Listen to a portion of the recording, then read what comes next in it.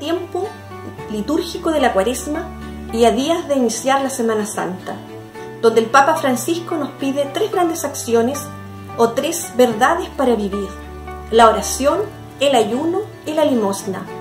La oración está ligada al diálogo constante y frecuente con Dios, a dar las gracias por un día más de vida, a agradecer por los alimentos que vamos consumiendo a diario, a leer la Biblia, a pedir perdón.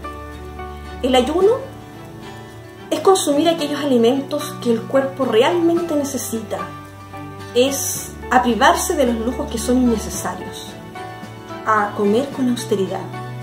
Y la limosna está ligada a la vocación de servicio, a la solidaridad, a compartir no solo las cosas materiales, sino también el tiempo.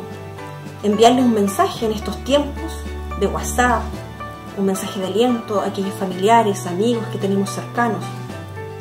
Y quiero invitar a ustedes, coordinadores de pastoral y profesores de religión de nuestra institución, Fundación Magisterio de la Araucanía, a que puedan motivar a sus comunidades educativas a vivir estas tres grandes acciones, ya sea por las redes sociales, por los grupos de WhatsApp que ustedes tienen.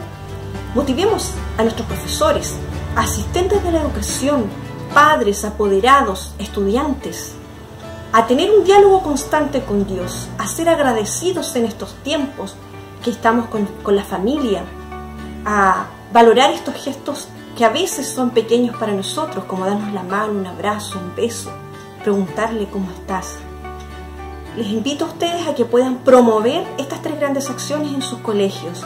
Este es un tiempo de reconciliarse, de conectarse con Dios, de hacer una mirada interior.